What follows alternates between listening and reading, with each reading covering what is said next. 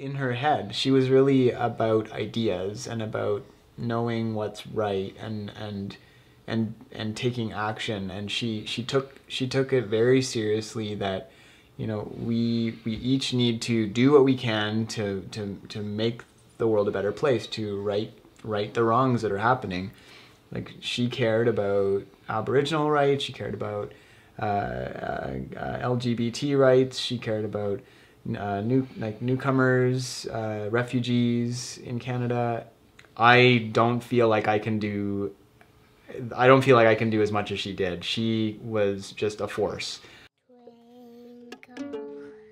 my name's Julian Van Mossel Forrester. Uh, lived in Kitchener for uh, almost 16 years, uh, although I was born here. So I consider myself to be a Kitchener person. um, that's the longest I've lived in any one place. So I'm Sarah Anderson, and um, I feel very rooted in this particular neighborhood. Um, we live in, we call it the, I guess we call it the Breithaupt neighborhood, or Mount Hope Breithaupt. And so I feel very connected, especially as a mom with young kids, to just to the the community that we've built around this area. Um, right now, busy doing schoolwork. I'm trying to finish a master's in environmental studies, and, and I I'm very interested in I guess community development processes through art and and story and um, creativity, and that's part of what connects the two of us. So I think. I, I think of myself as um, a creative person who has a lot of different interests, but not a lot of time to explore explore each of them. Uh, but I'm uh, uh, passionate about uh, environmental sustainability, uh, working working on environmental issues, and um, and about listening to One music.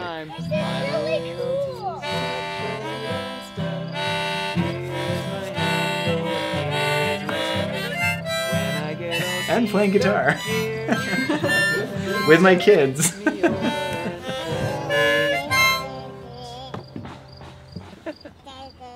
One Friday evening, I had to go and pick up Julian's mom at the Via Rail station in downtown Toronto, or at the at Union Station in downtown Toronto, and I I can't remember why, but it was 11 o'clock at night that I had to go, and I happened to talk to Lorna at maybe 10 o'clock that night, and this was just maybe, let's say, two years ago, so she would have been 88 years old, and she, and she said, well, you're not going by yourself, and uh, uh, are you? You shouldn't do that, and and I said, well, I'll be fine. And she said, well, I'll, I'll come with you. And it, it didn't take her, you know, it just, in a second she decided. Oh, yeah, we had been saying, okay, for that, we're going to be there a bit early. So we're going to get out and we're going to go have a nice piece of chocolate cake. If we can find a piece of chocolate cake or brownie, that's what we're going to have that and wait for Ellen.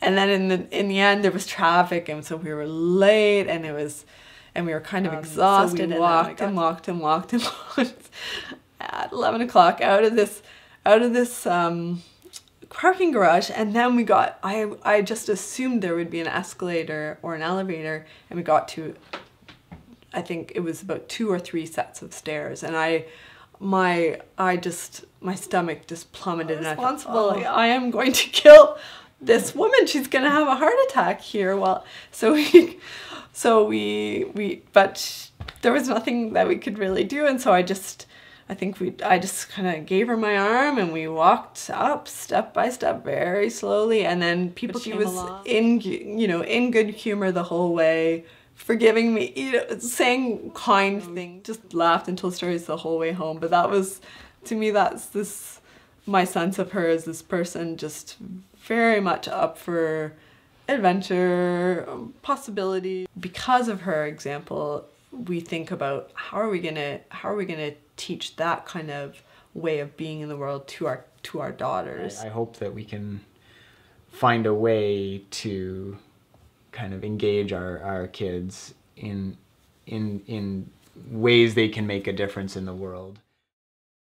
It was a long a long letting go of Lorna uh, because and uh, so she she died on a Saturday morning, and we were all there right with her. And f- for some reason, my aunt, mm, it was like she knew that she was about to die because my aunt just started saying goodbye, like very vocally, just sat down, just kneeled down right beside her and was t- talking to her, and um, but but she, somehow my aunt knew and it was pretty it was pretty amazing uh, to just be there and um, yeah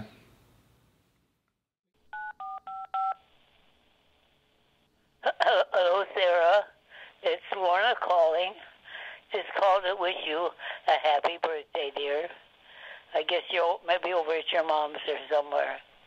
Anyway, happy birthday, and we'll see you soon, I hope.